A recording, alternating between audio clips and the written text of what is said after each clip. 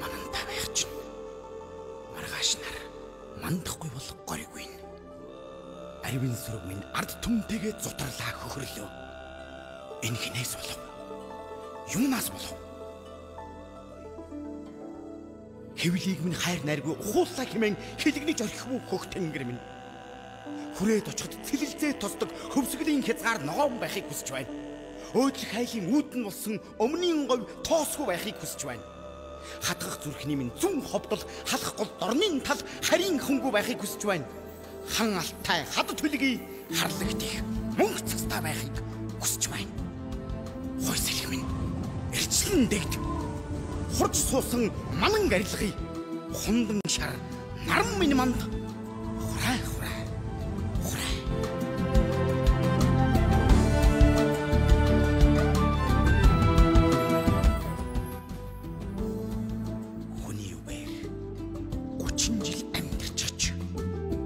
Өвгдийн минь хийсэн хувьсгал үн цэнэгүй болж өндөр төрд гарахын төлөө өвөр түрээндээ ордог болж өмч хувчлаар өөхөн давхраг сууцгаач. Тансаг байн зарим нь тарчиг байн ихэнх нь камера барах хувийн хөвшлээ татвар нэрээр сөхрүүлж байна. Аалцны торч өөрөөсөө ичмээр авилгын нэхмэлч нь гаарч байна. Амгаланг дэнслэх шүүх засаглалыг амныхаа дураар залж байна. Эцэг дүр нь Монгол эзэнтэйч эрдэнсийг өртлөгч нь харийнхан байна. Төрийн албаны шалгалтаар нэгт зогссон залуу төр зүтгсэн гэвэл түүхэнд бичигдэх цаг болж. 10 хувайл зогсоочих. Аваад өгье тэмдрийг чинь. Албан тушаалыг арилжиж 60 тэрбумыг босгоё. 10 найзаасаа цуглуулад 100 саяыг босго. Айлбарт мөнгө тараа. Ав. Өгсөн мөнгийг ав. Өгөхдөө харин сонголтоо өөрөөр хийх цаг нь болж.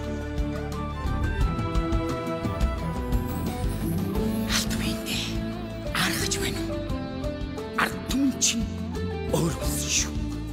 Шижир алтан наран минь манд шин дээлээ өмсөж сан. Хурай хурай. Хурай.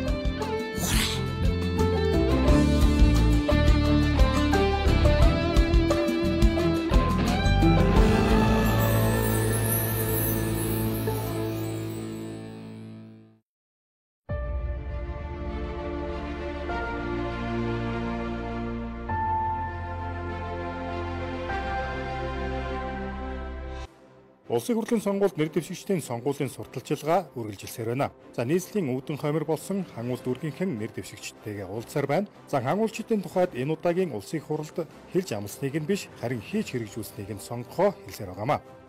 За энэ удаагийн улсын хурлын сонгуульд улсын хурл суудалтай 3 нам мөн улс төрийн 30 гаруй нам ивсэл за бие дагчид гээд нийтдээ 600 гаруй нэр дэвшигчид өрсөлдөж байна. За өнгөрөх жил Манан дэглэмийн эсрэг шудраг 5 гишүүдийн тэмцлээс улбаатай улс төрийн нэгэн шин нам Монголын улс төрд хүч төрөн орж ирсэн. За Манан дэглэмийн эсрэг тууштай тэмцлийг дэмжин улс төрийн 10 гаруй нам нэгдэж за шинэ өвслийг байгуулан энэ удаагийн сонгуульд оролцож байна. За шинэ өвслээс улсын хурлын 29 дугаар тойрог буюу хангуул дүүрэгт нэр дэвшигчид Ловсон Вандангийн болд Эрдэнэ дэлгэрийн төвшин Лавг доржин ариун нанаар тус төргийн Ярамгийн бүсийн иргэд сонгогчтойгоо уулзлаа. За иргэдийн зүгээс өнгөрсөн хугацаанд улс төрийн 2 нам ээлжлэн төр барьсан төрийн бодлого үндсэндээ алдагдаж төрийн бодлогын гадна нийт иргэдийн эрх ашиг зөрчигдөж амжиргааны төвшин муудаж шудраг үнэн зүйл үгүй болж байгааг нэр дэвшигчид хэлж байсан юм а. Улс төрийн тэтгэврийн шинжилгээний талаар одоо ямар байр суурьтай байгаадаа бас энэ талаар бол гишүүнээс бас асуумаар байна. Миний асуухыг бод энэ байгаа байхгүй тий. А зөрчлийн тухай хуулийг би энэ дээр үйлдвэрлэл үйлчлэгээ гэдэг газар дээр хэлээ. Би үйлдвэрлэл үйлчлэгээ эрхэлдэг хүн. Тэгэхээр яад гэхээр үйлдвэрлэл үйлчлэгээ эрхлэгт маань ихэвчлэн Орос улсны байрны подволууд таардаг. А зөрчлийн тухай хуулийн дээр маань Орос улсны подволд үйлдвэрлэл үйлчлэгээ эрхлэхийг 17-гийн 40 дэх хэсгээр хоригдсан байт юм байна. Би тэрэнд сайн нэрвдлээ. Аж ахуйн нэгж бол 2 сая хүртэл төгрөгөө а иргэн бол 300 мянган төгрөгөөр торгуулт юм байна. Ингээд би ажлын гэрийг ардлаа. Ийм хууль байгаад тах юм а. Иргэдээ хүрэхгүй юм хуулийг битгий хийгээч. Иргэдээс сонсооч. 3 нөл дэвшигчтэй амжилт хүсье. Тэгээд та гурав хэрвээ дэвшиж гişүүн болох юм бол энэ Монгол орны хоггүй болгооч. Тэгээд хот суурин газруудад энэ сум баригадын төвүүд нэр Палестинаас намайг жаргал сайхан гэдэг 8 дугаараараа Тэтгэр дээр бол бидний энэ дотор бодлого бол үнэхээр тэтгэврийн доод хэмжээ нэмэгдүүлэх, за тэтгэврийн тэгш шудраг болгох. Тэгэхээр тэмцэж ижил бид энэ төрөө шүү. Та бүхэн тэтгэвэр тэглэх энэ тэмцэл бол бидний бас том тэмцэл, том ялал. Гэхдээ яг хэрэгжүүлэхдээ зээлтэй ахмадуудын харж үзээд зээл аваагүй. Үнэхээр одоо өөрснийхөө үр хөвгтийг хамгаалж өөрснөөсөө бүх юмыг хасаж маш их одоо амьдралаа зовлон бэрхшээлийг төвчж байгаа зээл аваагүй ахмадуудыг хохирох ийм замаар бол шийдвэр гарсныг бид эрс эсэргүүцээд тэгээ чимгээ содонд барьж байгаа. Тэгэхээр энэ асуудлыг хөндөж байгааг бид маш их баярлж байна. Одоо ингээд 8 9 сар энэ хоёрыг одоо эрүүдэн шүүхэд шүүж ягаад хис сэргээ шоронд гурван шатны шүүхэн шийдвэр гарсан ингээд нот торхоотчоод тэгээд шүүх нь хурдтал юм шийдэх хэрэгтэй.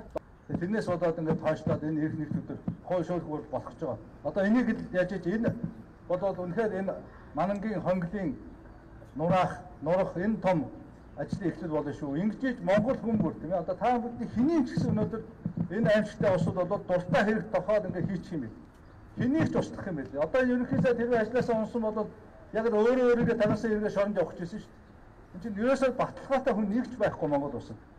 Иргэдээс ирж байгаа гомдлууд их байгаа. Үйлчлэг одоо хотоод үйлчлэгээ эрхлэхийг хориглоо. Дээрээс нэг давхар бас үйлчлэгээ эрхлэхийг хориглочихсон байгаа. Орон сууцны нэг давхруудад одоо үйлчлэгээнүүдийг эрхлэхийг бас хориглочихсон байгаа. Тэгэхээр энэ ажил дээр хам уул дүүргийн үйлдвэр үйлчлэгээний хилс мэрэгжлийн хэлтийн зүгээс одоо хяналт шалгалт тавиад одоо бүлээн асуудлууд тавигдсан байгаа. Тэгээд ер нь бол үйлдвэр үйлчлэгийг бид нар нэгдсэн систем тэгээ нэгдсэн бодлоготойгоор иргэдийг торгож хянаж авчихаасаа илүүтэйгээр зөвлөгөө өгж цаашдаа бизнесийн үйл ажиллагааг тогтвортой явуулах чиглэлээр хамтран ажиллахаар төлөвлөж ажиллаж байгаа. Тэгээд манай шудрын иргэдийн нэгдсэн эвсэл эвсэл намын мөрийн хөтөлбөр дээр байгаа жижиг дунд үйлдвэрлэлийг дэмжих санг, дэмжих сангийн хөрөнгийг яг үнэхээр жижиг дунд бизнес эрхэлж байгаа тэр хүмүүст нь олгох ёстой.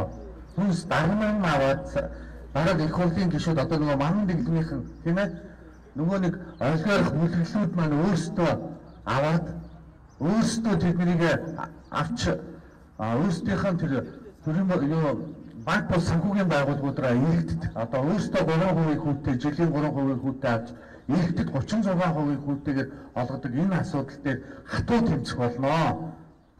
Монгол улсдаа эрс шинжилэл хийж иргэдийнхээ амьдралыг илүү сайхан болгохын төлөө хууль нь төрийн эрх мэдлийг хязгаарлаж иргэн хүмүүсээ хамгаалдаг болохын төлөө эдийн засгийн хүндрэл нь иргэн хүмүүсийн нуруунд үүрүүлдэг байх асуудлыг бүрэн шийдэж иргэдийн нуруундаа үүрүүлэхгүй болохын төлөө энэ усад хүн суртал, авилга, хэл хавлын асуудлыг бүрэн арилгахын төлөө төсвөө тунгалаг ил тод болгож албан тушаалтны унаа машин томилолт энэ одоо конторын барилга тавилгад зарцуулах биш харин иргэн хүний амьдралыг өөдөн татахын төлөө зарцуулдаг болгох ийм бодлогыг шинжлэх ухаан судалгаанд суйрлан боловсруулж хэрэгжүүлэхийн төлөө бид зүтгэнэ. Та нар минь биднийг багаар нь дэмжээрэй. Баярлалаа. Шинэ эвсэл шинэ эргэлтийн бодлого 21 хөгжлийн хөтөлбөртөө эдийн засаг нийгэм газар тариалан хөдөө аж ахуйгээд бүхэл салбарыг хамарсан хөгжлийн цогц бодлогыг улс төрийн бусад намууд эрдэмтэн мэрэгдтэй нийлэн гаргаж мөрийн хөтөлбөртөө тусган улсын хурлын сонгуульд оролцож байна. За иймдээ шинэ эвслийг дэмжин шинэ сонголт хийж ужигрсан манан тогтолцоог халж ухарсан 30 жилээс хөгжлийн 30 жил хөдлөх шинэ эвсэл буюу шудраг эрдийн нэгдсэн эвсэл намаас нэр дэвшигчдийг дэмжих иргэдийн давлгаа өдрөөс өдөрт ирчилсээр байна.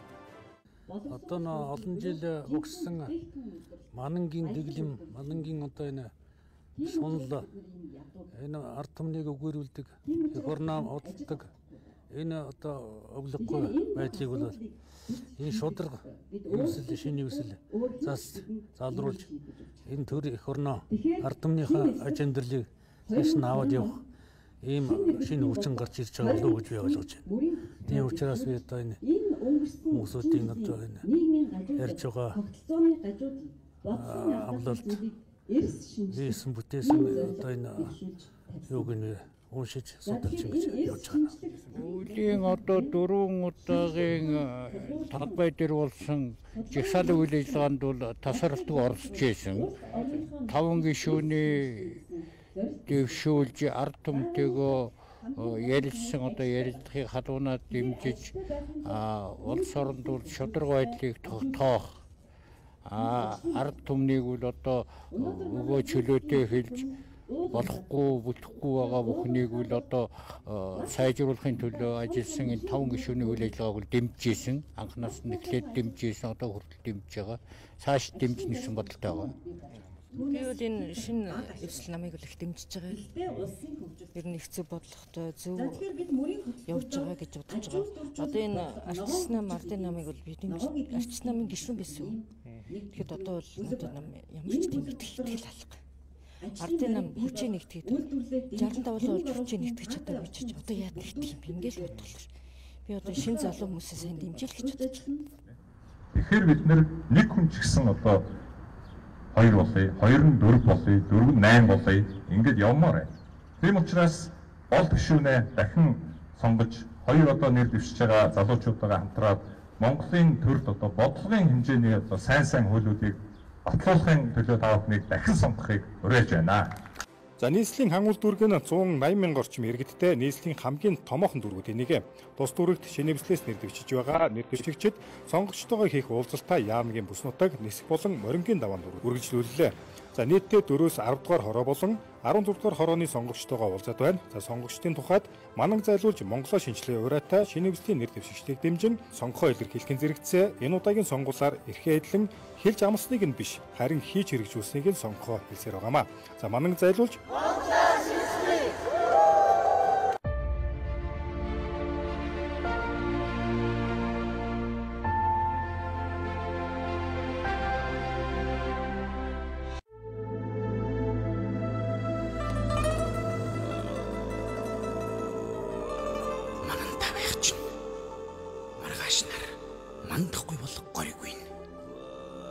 сүрэг минь ард түмтэйгээ зутарлаа хөхрлөө. Энэ хинээс болов?